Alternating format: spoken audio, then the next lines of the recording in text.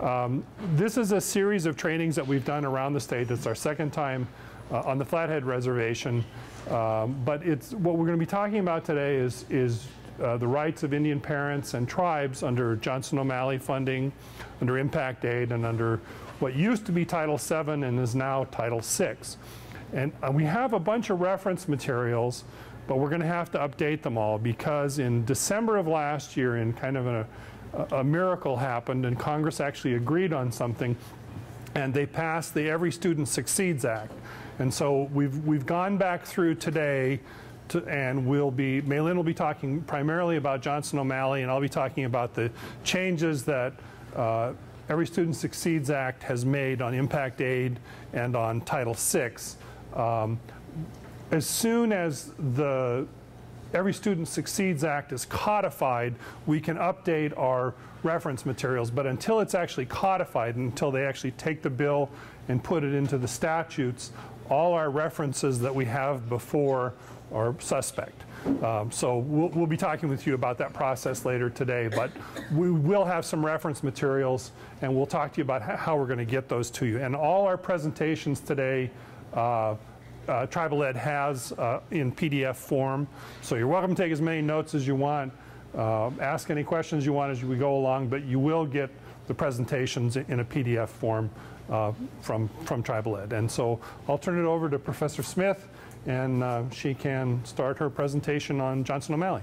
So, so uh, I'm going to focus on Johnson O'Malley and as for those of you that work in education, you know that Johnson O'Malley funding-wise is not significant when you're looking at the overall funding budget for education. But there are a lot of other really important pieces that go into Johnson O'Malley. But before I actually start with the Johnson O'Malley stuff, I want to talk about just education in Indian country in general. And keep in mind, anytime you're looking at education in Indian country, you have to go back to that historical context for it. And in order to understand what's happened and how we even get to Johnson O'Malley, you look at that historical context. And for tribes, that historical context are, are going to be looking at some of the statistics that we know about education in Indian country. And the statistics are improving, but they're still not great for who graduates and what's being taught in your uh, systems. Funding dollars are always huge in, in looking at what programs you can do. And as we know, there tends to be a decrease in funding rather than an increase from the federal government. The other important piece that we'll see through, through, uh, through the various statutes, and Johnson O'Malley in particular, is the level of tribal involvement. And that can really be significant in making changes in your educational system. So where do you, where do you start with this? Anytime I'm doing anything in Indian country, the first place I'm always going to start is with the treaty language. And most tribes that have treaties have got some educational language in their treaties. So in exchange for giving up uh, the use of huge tracts of land, education was one of the things that the tribes bargained for, that the federal government was going to provide resources and education. Johnson O'Malley funds come into play when the federal government decided that they didn't want to be responsible for the education, that they wanted to delegate that authority to the states. So prior to Johnson O'Malley funds, most Indian kids were going to be educated through your boarding schools or your tribally uh, situated BIA-run educational systems. And then Johnson O'Malley funds were appropriated in order that the states could assume that federal responsibility for education. So it's moving those kids into the public education system. As Jim Taylor indicated, recently there was the new legislation, Every, Child, or Every Student Succeeds Act, and that has some implications as well. The implications that I'm going to talk about are mainly in the consultation area. So uh, title, and I'm not sure I have these titles correctly, so I think it's Title VI still. um, I think I've changed these for for the um, every every student succeeds act, and then um, I think it's Title VII now, right, for impact aid. So those are the changes that we have under the new uh, new federal legislation for that. So Johnson O'Malley was passed in 1934 for those of you that know that history piece, the 1934 date may sort of trigger the Indian Reorganization Act period. It's part of that whole Indian Reorganization Act process of the federal government. And so the federal government now was going to contract with the states to provide those educational services that they had been responsible for when it came to Indian children. Uh, as, as, as, part of that, I will also say, uh, for those of you that have ever seen a reservation map, that's an allotted reservation, you'll see what I refer to as the gray squares. Those gray squares are the squares that the state owns for educational purposes. So that was another uh, funding source for the state to provide funds for the education of the Indian kids. Rather than having separate educational systems, the federal government decided that they would um, transfer, I guess, Indian children into the public education system. And, that was going to be more cost effective. And again, it was another tool for assimilation in just another format. So why is Johnson O'Malley, I've told you the funding source isn't that great, why is Johnson O'Malley so important with its limited funding? The limited funding for Johnson O'Malley, Johnson O'Malley is to target those special programs, those specialty type programs for the Indian students. So that can be used for cultural events, it can be used for language uh, restoration or preservation programs, it can be used for uh, educational materials that perhaps reflect Indian viewpoints as opposed to the state of Texas viewpoints. It also, and this is the real important part for Johnson O'Malley, requires the formation of the Indian Education Committee. Indian education committees are significant in shaping how education is going to operate within your tribal community. So Lucinda, you said you'd been on the Indian Education Committee, so you know that actually they have a fair amount of power if they know how to use it. And that's the important piece is figuring out how to use that power to effectuate changes, positive changes in Indian education on the reservation. It requires maximum Indian participation in the development, approval, and implementation of all programs contracted under the Act. And that maximum Indian participation is where tribal communities can effectuate a lot of change to make sure the education systems are looking at what the needs of the Indian kids are rather than what the needs of the non-Indian kids are. That approval that the Indian education committees have for programs means that if a uh, school district wants to implement a program, that program, if it's going to be anything utilized by any of the Indian students there, has to be going through the Indian Education Committee for approval. So that is a huge power that I think a lot of Indian education committees probably don't utilize to the full extent. It's not required in every, in every situation with an Indian country, but if your school board is a majority non-Indian, you have to have an Indian Education Committee. So if you have a school board that's all Indian, you don't have to have one. You can, but you don't have to have one. So for example, Browning, their school board I think is virtually all Indian. They may have one non-Indian on it. They don't have to have an Indian Education Committee, but they do. So, so it's not a requirement if your school board is Indian. Otherwise, they absolutely have to have an Indian Education Committee. Again, that participation in all the programmatic matters is really important because this is how you effectuate that change to get programs in your school that actually meet the needs of Indian students. That includes planning. So it's not that they just bring you the program. If they're talking about it, you have to be involved as the Indian Education Committee in the planning process for that program developing it. How are you going to develop it? How do you meet the needs of your Indian students through that program? That's a piece of it too. The implementation. How's it going to be implemented? That again is another component where the Indian Education Committee gets to be involved in how it's going to be implemented. This is the big one, evaluation. So if there's a program that a school has, the Indian Education Committee gets to evaluate if that program is effective. And if it's not, they get to comment on it. They get to suggest changes. They get to suggest uh, ways of making it an effective program or saying, we're not going to do this program. If they change a program in addition to the approval, they also have to go through this process. And there are federal regulations that sort of dictate how that process is going to operate. Anytime you're talking about federal regulations for tribes, it comes under Title 25 of the Code of Federal Regulation. And this uh, delineates exactly what your Indian education committees can do. Recommending curricula and that includes your textbooks and the materials, the teaching methods that are going to be used in the programs. So think about your curriculum in your schools. How much of that curriculum is something that the Indian Education Committees have either supported or uh, suggested, and how much of it is something that the school district is saying, this is what we're going to do.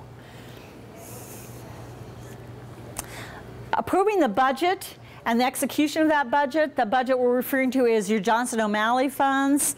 We're going to see an impact aid that there may be some bleed over between those two, but the Johnson O'Malley monies are controlled by your Indian Education Committee. Another, uh, I think, important power that your Indian Education Committees have is establishing the criteria for employment in the program. So how many of you have uh, had either staff or, or teachers or administrators who maybe aren't as culturally sensitive as they need to be in your programs. This is a place where you can make some type of cultural awareness, cultural sensitivity, working with Indian students, a requirement for hiring. That is a way of, of establishing that criteria for employment. The other piece that Indian education committees can utilize is nominating a reasonable number, and this is the qualified prospective educational program staff. So if you have staff eh, that uh, is going to be helping implement programs that are using Johnson O'Malley dollars, then you, as the Indian Education Committee, can make nominations of who they should hire, for those positions. So it's a way of uh, selecting who may be interacting with the kids on the reservation.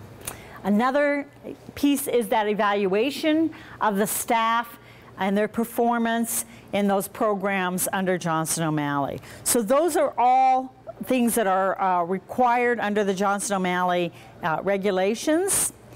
But think of what can happen if you actually utilize. So instead of having the curriculum that reflects the dominant society's view of that, you can have curriculum that reflects a tribal viewpoint. And you can have textbooks that, oh my gosh, may actually recognize that there are three sovereigns instead of the two that you see in the textbooks. Teachers can incorporate those culturally relevant materials, be culturally responsive in the classroom and the allocation of those resources under the Johnson O'Malley funds can support the Indian education for all that we find in the, US, in the Montana Constitution as well as some tribal codes that have uh, educational provisions in them. So this is from one of my kids' textbooks. I believe it's from their fourth grade textbook. Uh, and this is what the page leading up to citizenship and government look like. And then I turn the page and what do I find? So what's missing? Tribal. Yeah, tribes aren't mentioned at all. They're not included in that picture. They're not mentioned in the discussion in the written part of it. There's nothing that indicates to a student that there are actually three sovereigns that you have to look at. There's the federal, the state, and the tribal, and then you go down to that local level. So it's not there at all. Could it be there? Absolutely. Texas has a reservation. That map could reflect the reservation that's located in Texas. Going to the fourth grade, You have, I always love that they put this wonderful tribal beadwork on the page before it, and then you get to the next page and there's nothing that even mentions tribes. Again, it talks about the three levels of government, the federal, state, and local, but the local is not anything to do with tribal. We're talking about municipalities, cities. We're not talking about count or counties. We're not talking about your tribal governments, and they're not put at the same level as or between basically federal and state because that's where they would belong. So kids in third and fourth grade are not getting that there are three sovereigns. The Indian Education Committee could change that. They could say, we want our textbooks to reflect that. You either have to supplement it or you have to use textbooks that reflect, reflect that. In evaluating, the, the, Indian Education Committee can request information about the programs and the performance of those programs. You can get information as to whether these programs are being effective. You can get information as to what materials they're using. You can get information as to what kind of uh, extracurricular activities they're using to supplement it. All of that's information you can get to evaluate the programs. And you can use that then to determine what what's going to happen with those programs whether there's something that needs to be changed. Request reports as an Indian Education Committee. Ask for that information. They have to give it to you. When you're looking at how, how those programs impact, determine are more kids staying in the classrooms? Are they being removed from the classrooms? Are they graduating? Figure out what the impacts of those programs are. So is it working? And if it doesn't work, what can you do to improve it? Those are all inputs that your Indian Education Committee gets to have on your school boards and your, and your educational programs. The additional powers are extremely important in regards to your Indian Education Committee. So when you form your Indian Educational Committee, you have organizational papers and the bylaws for your Indian Education Committees. If you include the additional powers and duties, you have a lot more powers than those I listed previously there. So looking at that, you get to, but you have, these have to be in the bylaws or you don't have them. So it's really important that your bylaws include these. The right to participate in negotiations concerning all contracts under your Johnson O'Malley funds. Make annual assessments of the learning needs of the Indian children in the community that's affected and having access to all the reports, surveys, evaluations, budgets, anything that deals with the utilization of those funds. It's going to be subject to some Freedom of Information Act limitations, but if you're just asking for, if you're not asking for specific student information, you can get it all. If you're asking for broad information statistics. And again, one of the things you can do as an Indian education is request periodic reports and evaluations. So one of the things that Indian education committees could do is they could say, every time we meet, we're going to have one or two students, I mean, not students or teachers come in and talk about the programs. So you can ask the teachers, what are you doing to incorporate Indian Education for All into your classroom? You can ask the students, how is that working? What's working, what's not working? Those are the periodic reports that you can request as an Indian Education Committee. One of the other things that Indian Education Committees can do is they can hear grievances. So we all know that Indian students tend to be disciplined at a higher rate than non-Indian students. The Indian Education Committee can get involved in that grievance process and they can they can have a part in determining the actions that are taken against the Indian students. So that, that is a huge piece of uh, powers that the Indian Education Committee has that may help alleviate the disproportionate disciplinary actions against Indian students. You can also meet regularly with the staff and, uh, that serve the Indian students and do training with them. So that's another piece that can help uh, alleviate some of that bias that you see. Having those regular committee meetings is also important.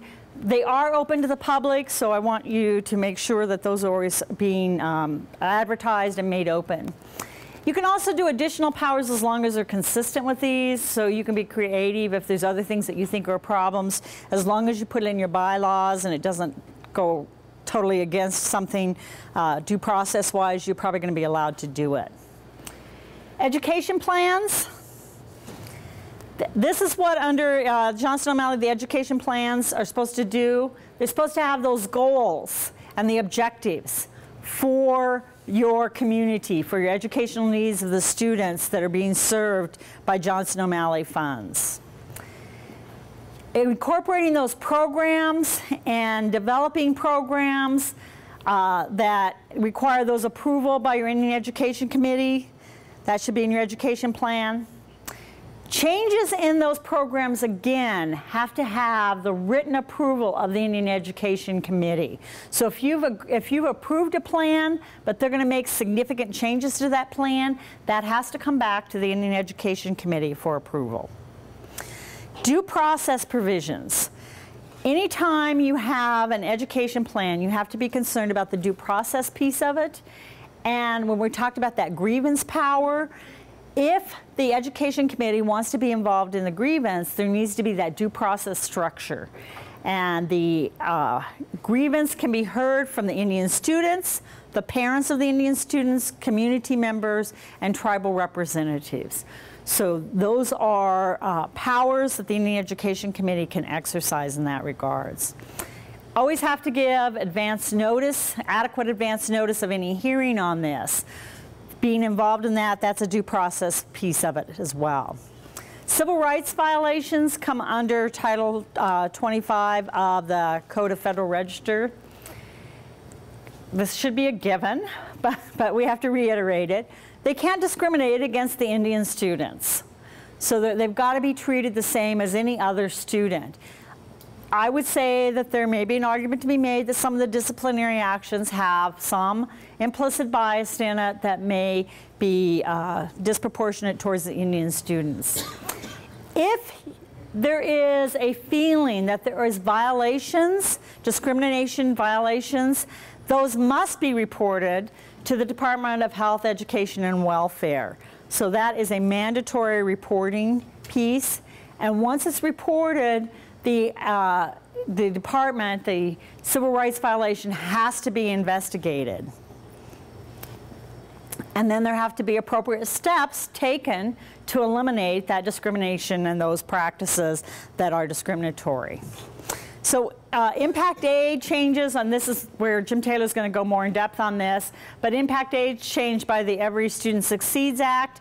There, there are those federal dollars that are allotted to schools within Indian country to offset those loss in uh, tax revenues from property tax due to that federal exempt lands to your tribal trust lands. It's going to be, it's being recorded and it'll be posted on YouTube. We have a uh, Facebook page for Montana Indian uh, Parents Committee that if you send an email to either Jim Taylor and I, we'll add you to that if you're not already part of that. So it'll be posted there, be posted on the ACLU webpage, it'll be posted on the law school webpage, so we're distributing it fairly widely.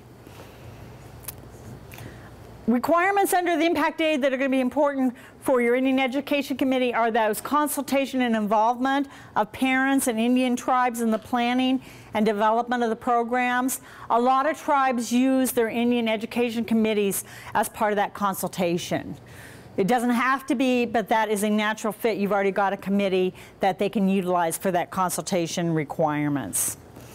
They have to be uh, given an opportunity to sort of voice what their concerns are, voice their views, indicate what activities they would like to see included, uh, make those recommendations for programs and uh, I guess uh, services that are going to benefit their Indian kids within their community.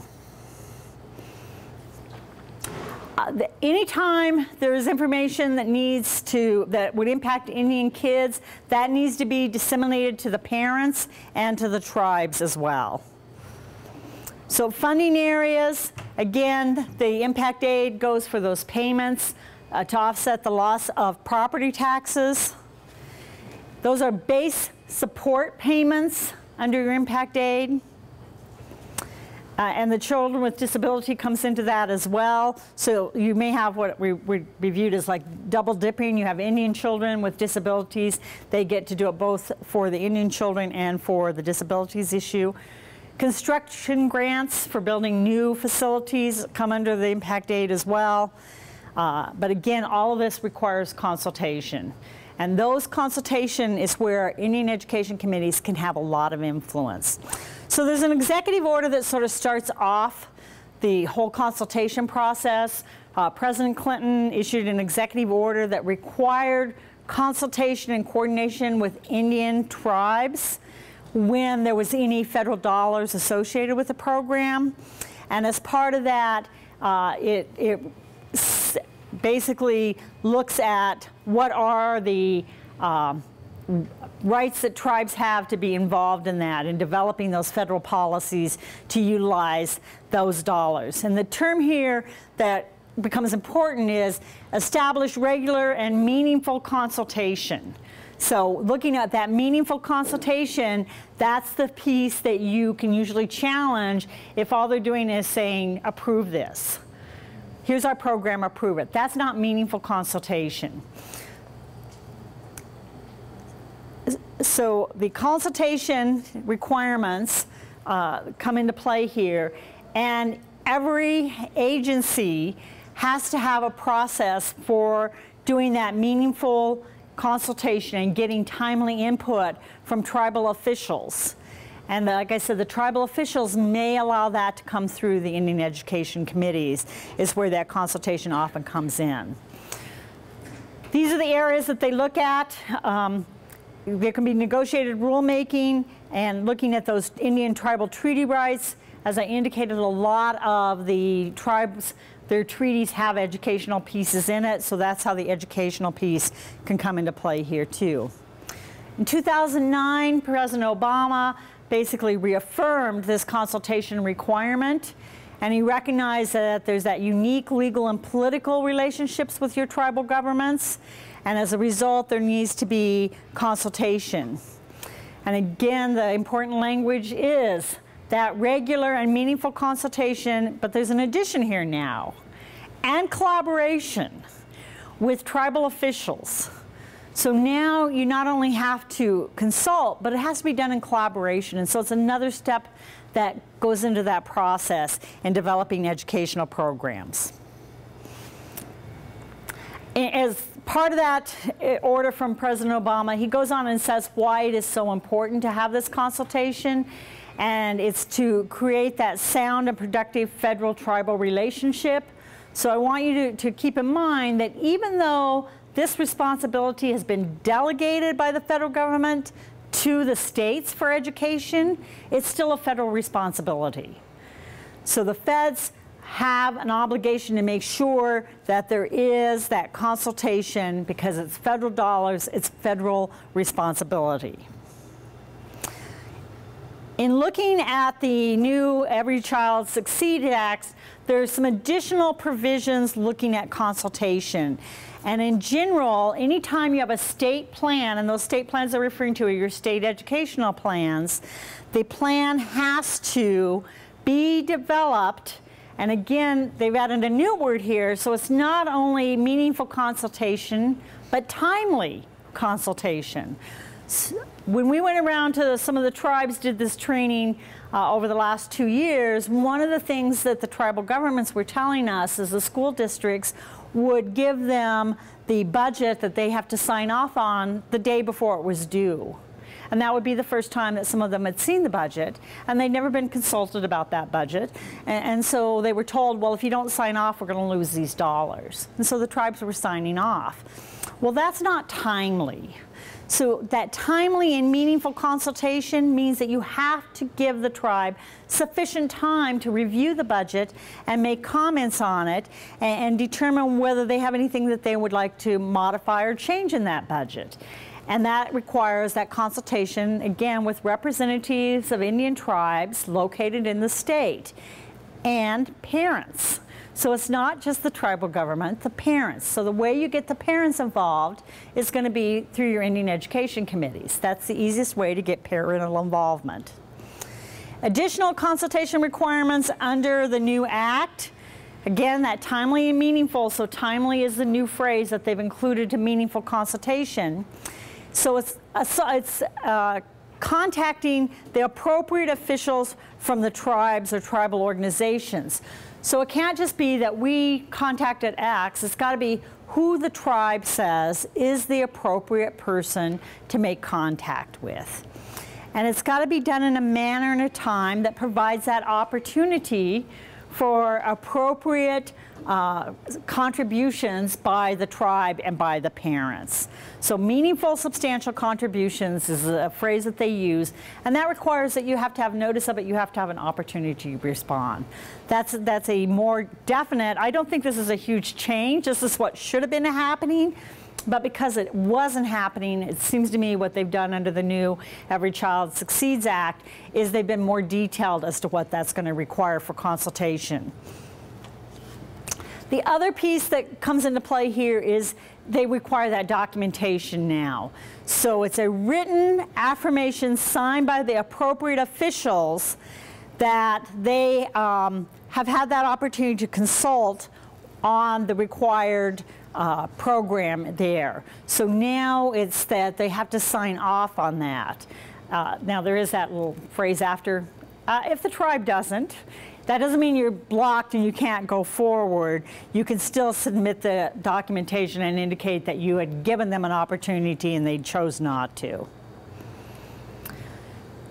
So the local education agency, the, um, the new statute defines that. So if the local education agency has an enrollment of American Indian or Alaska Native students that's not less than 50%. So if you have more than 50% enrolled, you're going to be viewed as an Indian entity there.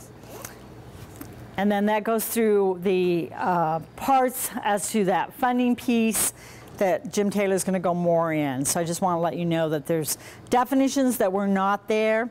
Appropriate officials is the other term that's now defined, and it's the tribal elected officials, or again, it's appointed people that are designated in writing by the tribe as being able to perform that consultation purpose.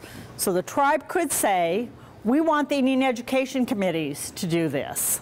And if they do that in writing, then the Indian Education Committees are going to be the ones that fulfill that consultation purposes for the tribes.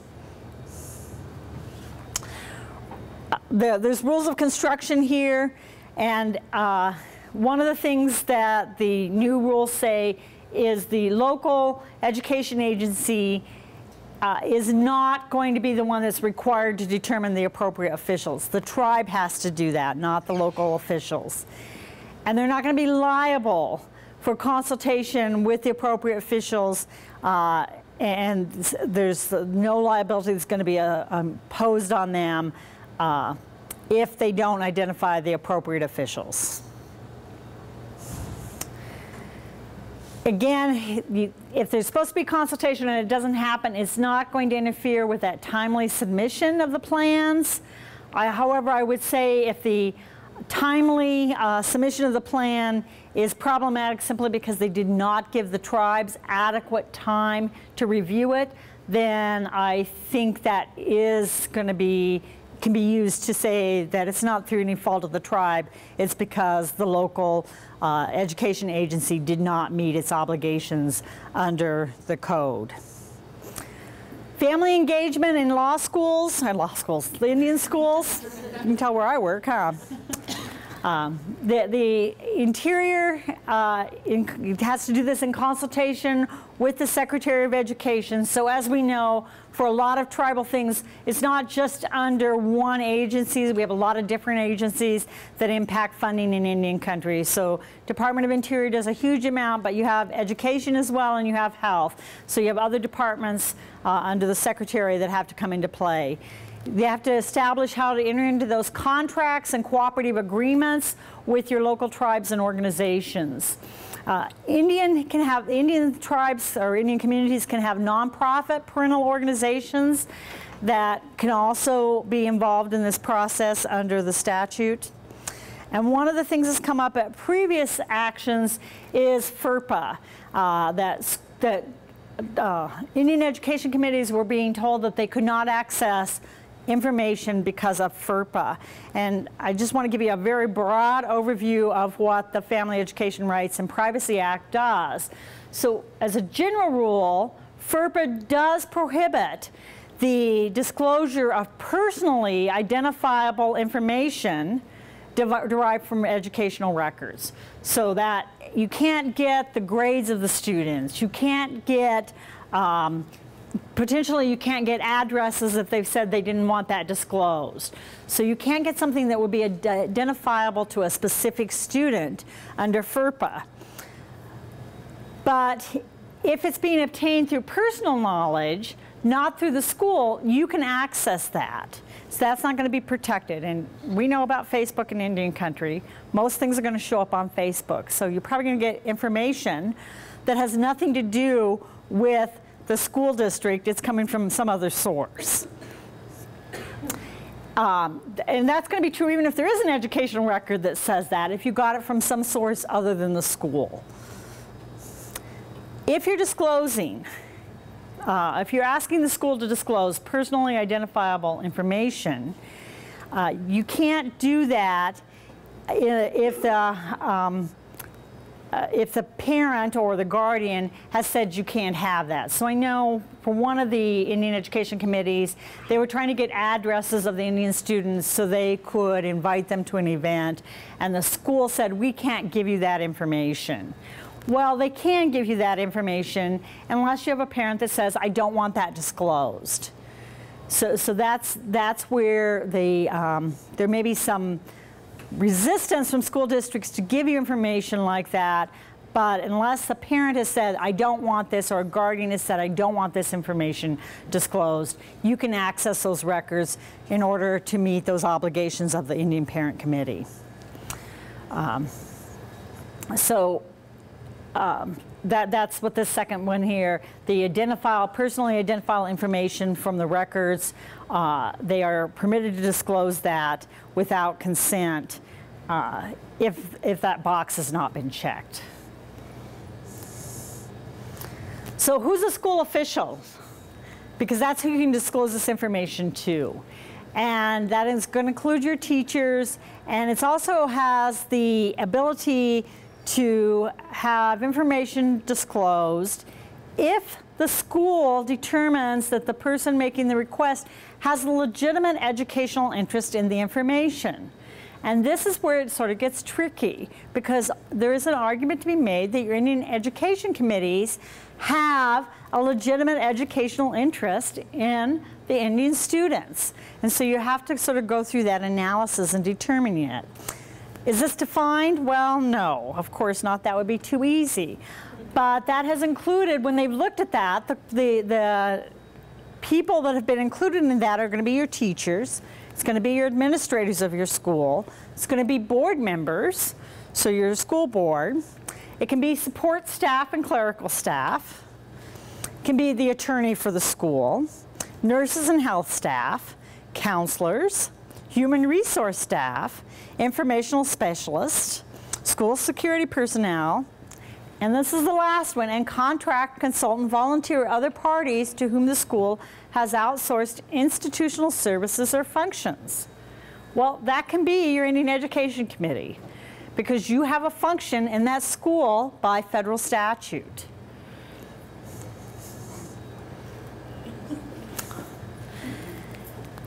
If it's non-consensual, uh, personal, identifiable, the, the um, all, this can only be disclosed to certain individuals. And those are mainly going to be your federal agencies that require that data for purposes of determining the programs.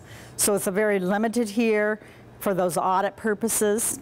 It Can also be for organizations conducting studies for on behalf of the school Uh, so if that's where I'm saying, if you want statistical information, you don't want it personally identifiable to any one individual student, you can make that request. So you can say to the school, I want to know how many Indian students are not passing this class, or how many Indian students are absent more than so many days. You're asking for numbers, you're not asking for specifically identifiable information to any one student.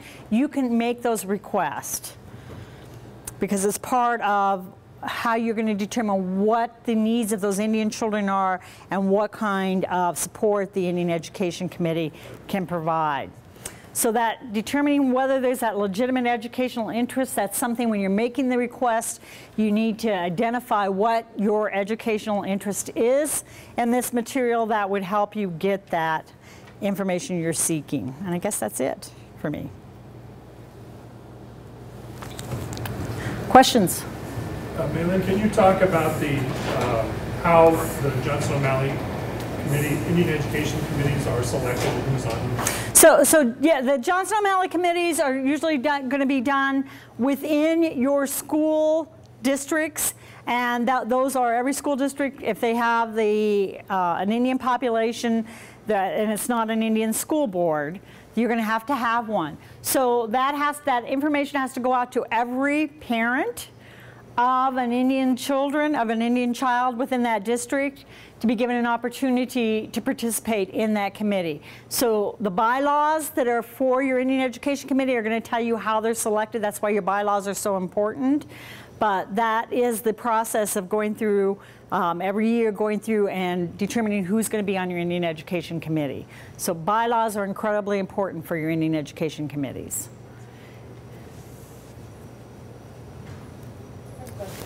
So this sounds wonderful. Yeah. Um, the things like, you know, the um, timely information, participation, all the evaluation stuff, the ability to actually have an impact on your school sounds great. Yep. But, I'm hearing a but here.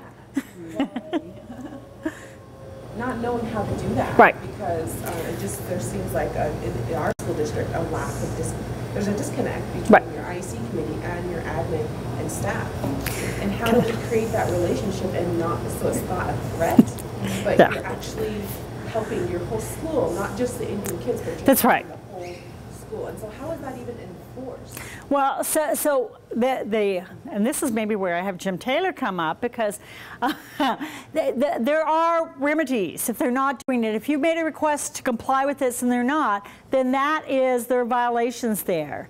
Um, and, and you can talk about some of the things you've done in that. Yeah, well, there, there are a couple of things that you can do. We, we have a, a group now of about 50 Indian parents from all around the state. And one thing you can do is send out a request to ask other committees around the state what they've done and things that have worked for them. But if, if, you, if you aren't able to resolve that through that, um, you can contact the ACLU. We now have a racial justice project we'll talk about in a little bit, and this is one of the issues that we've identified is education as a civil right. So if you're dealing with a school that's not giving you information in a timely manner, you've gone through all your processes, nothing seems to be working, give us a call. So I will tell you, it's very effective when you have a letter that comes either from the ACLU or even the Indian Law Clinic that says, this request has been made. This complies with the XXX of the federal code. You've not done it. You have X amount of days to do it, or we will be seeking further remedies. They generally get the information then. We usually get a pretty good response. Yeah. It's unfortunate. I like to build relationships, but it seems like sometimes it has to come to that. Well, if unfortunately, you're, unfortunately, it may have to start out that. You can then build those relationships once you start getting that working relationships. But I think a lot of school districts think they don't have to do any of this.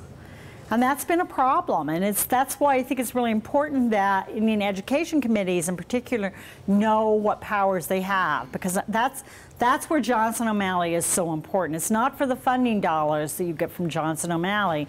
Impact aid is far greater in the school budget than the Johnson O'Malley funds, but it's those powers that come with Johnson O'Malley that are so important for your Indian parents. Do the school administrators get training like this to, Um, they have been offered this training. Sometimes they show up and sometimes they don't. and is there a possibility to get it on PIR day for them? Done. We've done We've that. done it on We've PIR done- We've it on. PIR day. But uh, one of the reasons we're doing this training today is because it's being filmed and we're going to make it available broadly so that although we've been to all the reservations, you know, there are so many communities and there's, people are not able to come to, always come to the trainings, you know. There are a lot of schools on every reservation. So we wanted a, an electronic version that we could use to, to um, spread the word. So we could share this with our school board. Absolutely. Oh, absolutely. And Yeah. We've actually offered to do this training to the School Board we did. Association, but we actually never heard back from Right. them. So you could, you know, if, particularly on Flathead, because you guys are fairly close to us, if any of the school boards wanted this training, something specific, I would be more than happy to come. They need it. Well, uh, so, but, okay, so you think they need it. As an Indian Parent Committee, that's a power that you can say, this is what we want. That's a programmatic thing. We want them to have education on this. You can make that as a programmatic plan, as part of the plan that you're supposed to be consulted on. That's something you can say we want in there. You, you could say, we want our school board to have a training on what consultation means. We want them to have a training on how they have to interact with the Indian Education Committees. I think, the- I think it's all across our school district on our end. I think, um, it's not just the school board, it's our teachers and our admin as well. I mean, we have fifty-two, including Sunny, um, regularly come, but teachers on a basis, they'll give us requests for monies, but they won't.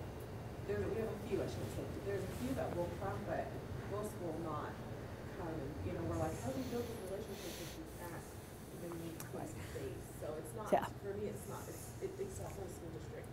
Teachers, staff, and school board. So I did a training with the, I, can't remember the title, but it's the Indian school boards.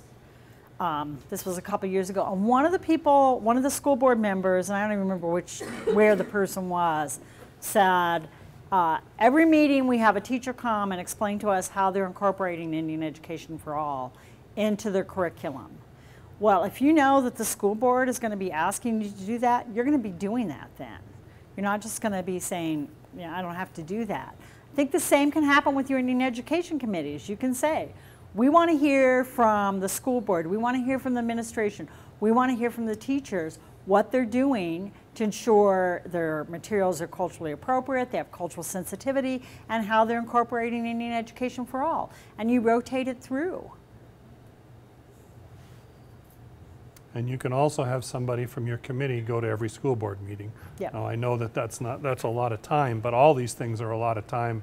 And uh, you can be there reminding them every time they meet. You could be a regular agenda item on every Yeah. school board meeting, every meeting. Every meeting. And we are, but I'm just, it's more like a report. Tell us what you're doing. No, but they need to be telling you what they're doing. That's the Yeah, difference. environment, It's so different. It's like, we're going to tell you what our committee's doing, and I'm really new, so Yeah. kind of what I've been doing is getting up and saying, oh, we're doing this, that, and that, and this, and we look forward to meeting you guys, but, you know, But the next- are there, is there communication from the board. So the next meeting, you say, yeah, here's what we're doing, and we want to know when we're going to be scheduling our next consultation for your plan. So if your school boards are not taking you seriously, I think you need to probably be a little more assertive in that you want that consultation. And you can cite them to the federal statute.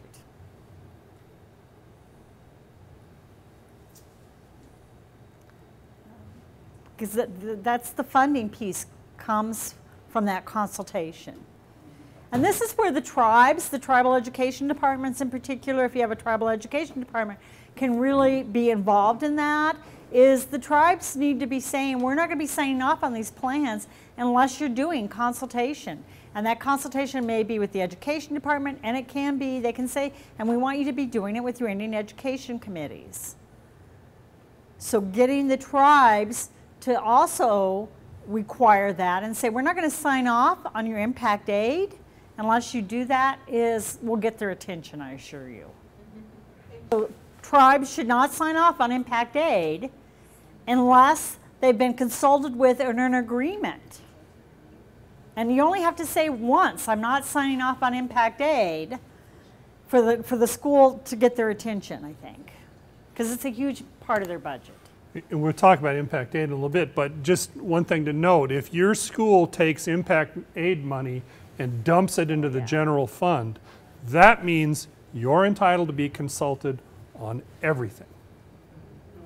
Everything. Mm-hmm. Any program that's affected by that funding, you're entitled to be consulted for. And if it goes into the general fund, that means everything. Yeah. And most of them do put it in the general fund. After this, they may not. Well, you can bet impact aid is going to teacher salaries already, because it's a huge portion. But yes, absolutely.